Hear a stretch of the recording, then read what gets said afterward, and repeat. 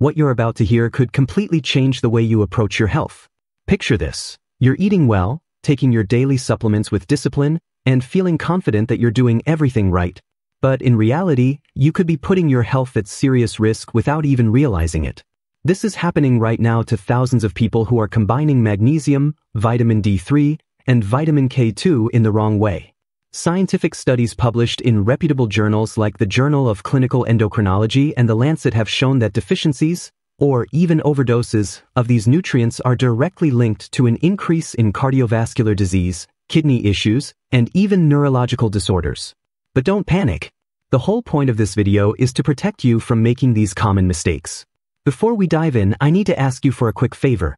If you care about your health, or if you know someone who takes supplements like magnesium, vitamin D3, or K2, click the like button and subscribe to the channel.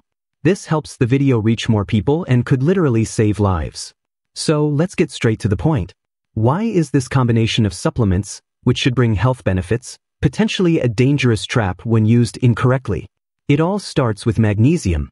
This mineral is essential for over 300 biochemical reactions in your body. It regulates everything from heart rhythm to brain health and blood sugar control. But here's what almost no one tells you. Magnesium is also one of the key activators of vitamin D3.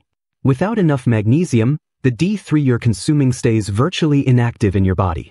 Now think about this. What's the point of taking high doses of vitamin D3 if your body can't even activate it? This is more common than you might think. Data from studies published in PubMed show that around 50% of the population has insufficient magnesium levels.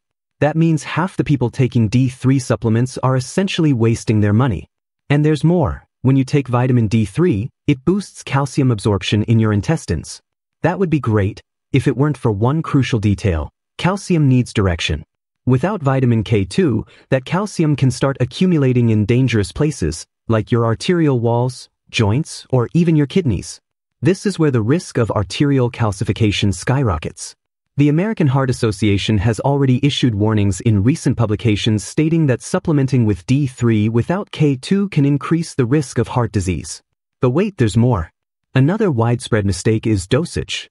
Most people have no idea how many milligrams of magnesium they're actually taking. You know that bottle you bought that says 400 milligrams of magnesium? Well, Usually, only a fraction of that is elemental magnesium, the form your body actually uses. Less transparent brands often label the total compound amount, like magnesium glycinate, but when you check the fine print, you'll find there's only 60 to 90 milligrams of pure magnesium per capsule. The result? You think you're doing everything right, but you're actually underdosing without realizing it. And the problem gets worse when we talk about absorption. Magnesium needs high bioavailability to work effectively. Forms like magnesium glycinate, threonate, and malate are much better absorbed compared to magnesium oxide, which has very low absorption and often causes diarrhea. Another crucial point that rarely gets mentioned is the timing of these nutrients.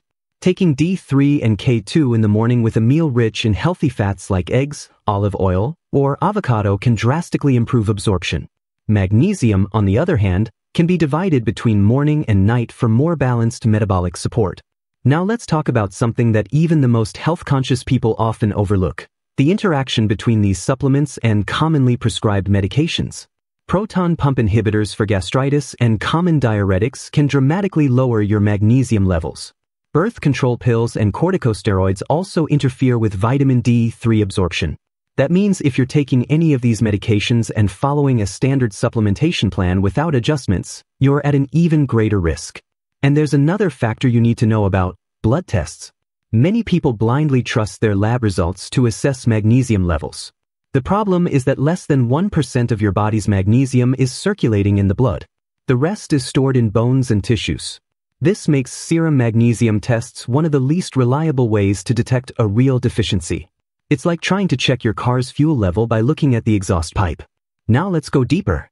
Did you know that low magnesium levels can cause symptoms like insomnia, irritability, muscle cramps, heart palpitations, and even anxiety attacks? These signs are often ignored or treated with medications when the real issue is simply a mineral deficiency. On the flip side, vitamin D3 deficiency also brings silent symptoms like chronic fatigue, depression, muscle pain, low immunity, and blood sugar issues. And here's the scary part. Even with adequate D3 levels, if you're lacking magnesium, the vitamin won't get activated. This creates a functional deficiency cycle. You're taking the vitamin, but your body can't use it. Now, let's talk about K2. There are two main forms, 4 Malawian kwaches and 7 Malawian kwaches. 7 Malawian kwaches is the most recommended for supplementation because it has a longer half-life and stays in your system longer, providing more stable protection against arterial calcification. And here's something important. For every 5,000 IU of D3, you should take at least 50 micrograms of K27 Malawian kwaches. This helps ensure that calcium goes where it's needed, your bones and teeth, not your arteries. Speaking of calcium, another critical mistake is supplementing calcium alone, without magnesium, D3, and K2. That's a recipe for long-term health problems. Numerous studies, including reviews published in Science Direct, have shown that taking calcium by itself can increase the risk of cardiovascular events. Stress, excessive sugar, alcohol, and caffeine consumption further drain magnesium levels in your body. Another critical detail, people who exercise intensely or sweat a lot need even more magnesium since this mineral is easily lost through sweat. And here's a little known fact. In addition to magnesium, D3, and K2, zinc also plays a fundamental role in this balance. It regulates vitamin D receptors and is essential for immune system function. However, too much zinc without balancing it with copper can cause problems like reduced immunity, arrhythmias, and even anemia. That's why when supplementing with zinc, it's ideal to maintain a 10 to 1 ratio with copper, preventing hidden deficiencies that could create even more imbalances in your body. And before you think supplements are the ultimate solution, it's important to stress that everything starts with diet. Poor soils, nutrient-deficient diets, and the overconsumption of processed foods are some of the reasons why magnesium and other micronutrient deficiencies have become so widespread. Want a practical example? A single can of soda can wipe out much of the magnesium you've consumed that day due to its sugar load and caffeine effect. Furthermore, recent studies published in JAMA show that up to 70% of the global population has insufficient vitamin D levels, making the problems even worse when supplementation is done incorrectly. This combination of factors, poor diet, medication use, magnesium deficiency, and imbalance between D3 and K2, creates a perfect storm for developing conditions like osteoporosis, high blood pressure, type 2 diabetes, cardiovascular problems, and even early cognitive decline. That's exactly why today's scientific consensus recommends that supplementation with these nutrients be done strategically, taking into account lifestyle, diet, medical history, and, of course, individual nutrient levels. One smart tip many experts suggest is to take supplements in divided doses. For example, instead of taking your entire magnesium dose at night, you could split it, half in the morning and half at night. This helps maintain more stable levels throughout the day and avoids gastrointestinal discomfort. D3 and K2, being fat-soluble, should always be consumed with healthy fats. A simple tablespoon of olive oil, a handful of nuts, or even a slice of avocado can significantly improve absorption. Consistency is another critical factor. Taking these supplements for just a week or two and expecting miraculous results is unrealistic. Clinical studies show that the positive effects of supplementing with D3, K2, and magnesium appear only after weeks or even months of continuous and correct use. Of course, every body responds differently, and factors like genetics, gut microbiome, and even sleep quality can influence the response. Speaking of sleep, here's a lesser-known fact. Magnesium plays a direct role in melatonin production, the hormone that regulates sleep. People with magnesium deficiency often struggle to fall asleep or stay asleep, directly affecting their hormonal and immune balance. Another concern is excessive vitamin D3 intake without medical supervision. High doses of D3, especially over 10,000 IU per day, can dangerously elevate blood calcium levels, causing hypercalcemia. Symptoms include nausea, vomiting, muscle weakness, mental confusion, and in severe cases, heart arrhythmias and kidney failure. This brings us back to the life-saving role of vitamin K2. It helps reduce these risks by directing calcium to the correct places. Age also plays a major role. As we age, our ability to absorb and metabolize these nutrients diminishes. seniors are at higher risk of vitamin D deficiency due to less sun exposure and decreased skin capacity to synthesize the vitamin. Additionally, aging affects magnesium absorption in the gut. If you're over 60, this information is even more critical. The right combination of these supplements can help prevent fractures, improve bone density, and reduce fall risk. And if you're thinking, should I rush out and buy all these supplements right now? The answer is, take a breath. Before starting any supplementation, it's crucial to consult a healthcare professional who can assess your specific needs based on detailed tests and medical history. A smart approach is to start by adjusting your diet, increasing the intake of foods rich in these nutrients. Natural sources of magnesium include spinach, almonds, avocado, bananas, and pumpkin seeds. Vitamin K2 is found in fermented foods like natto, certain cheeses, and egg yolks. However, in practice, due to the low concentration of these nutrients in modern diets, supplementation becomes necessary for many people. Let's also quickly address magnesium's interaction with other minerals like potassium. Magnesium is essential for transporting potassium into cells. Without magnesium, potassium levels become unbalanced, increasing the risk of heart arrhythmias.